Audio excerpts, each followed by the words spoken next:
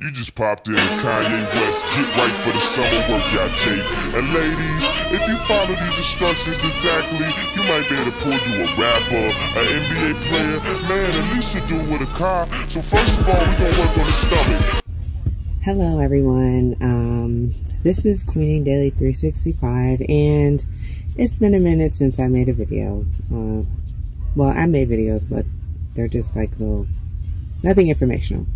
Anyway, so I've been on this keto thing, and if you look back like two years ago, I've been trying to lose weight for a very long damn time, okay?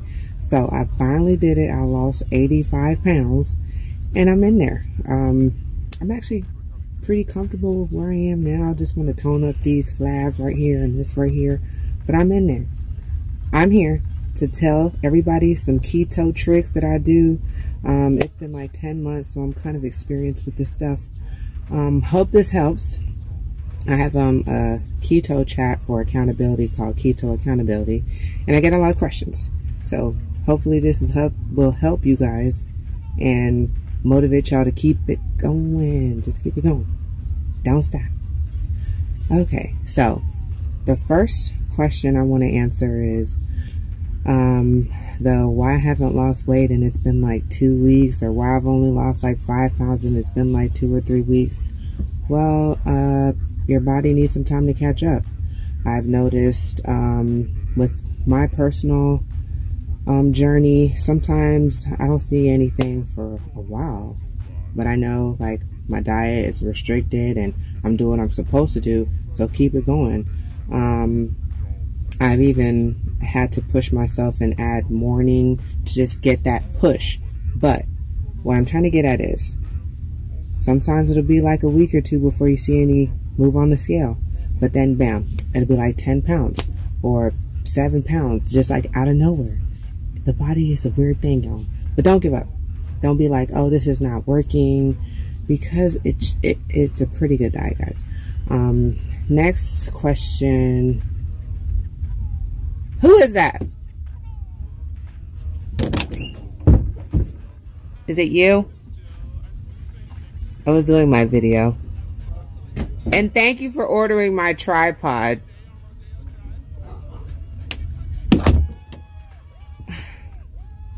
Uh, yeah. The She Cave. So anyways, next question I want to answer is how do you guys deal with the, or how do I deal with the cravings? Well, this is a sticky one. Okay, so what I would suggest is, um, if you feel like binging, binge on salad, meat. Uh, what I used in the beginning, um, I have the video how I make it. It's called Sacred Heart Soup. I added chicken, but if you're vegan, you could just do the veggie part and season it up really well, and you can eat and eat and eat and eat that soup. It's gonna make you go to the bathroom, but it's very effective and it helps you lose weight. Um, eat veggies.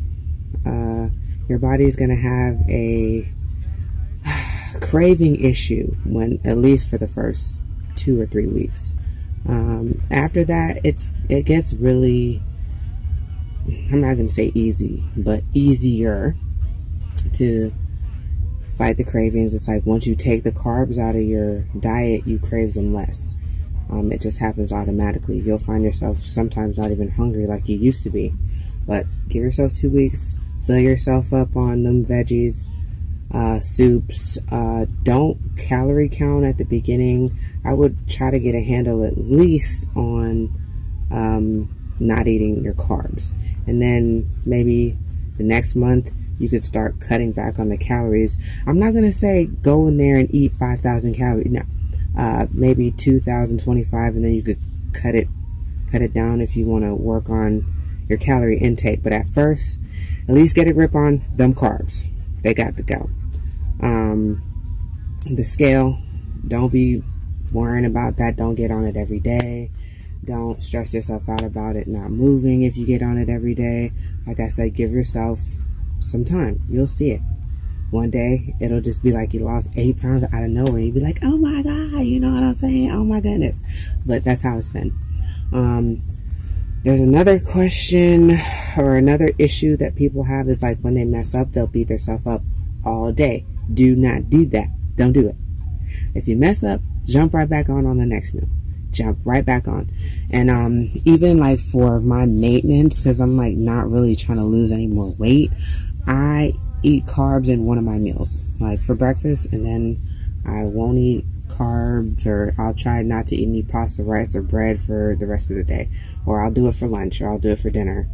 Um, it's a lifestyle change, so you have to like tweak it to make it work for you. Um, your carbs has to stay under 50 grams or close to it.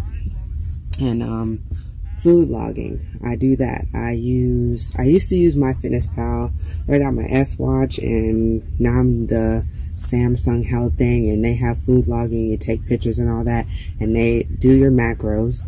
Um, so that'll tell you how much carbs you're taking in each day. It really helps. It really, really, really helps. It even just helps thinking about how when I put it in my food log, I don't want to see my calories like ridiculous. So I've been trying to tell people to do that. Um, another thing that's been really helpful is IF. But um, there's a trick about the IF which people are not really getting. Um, do it overnight um, till maybe lunchtime.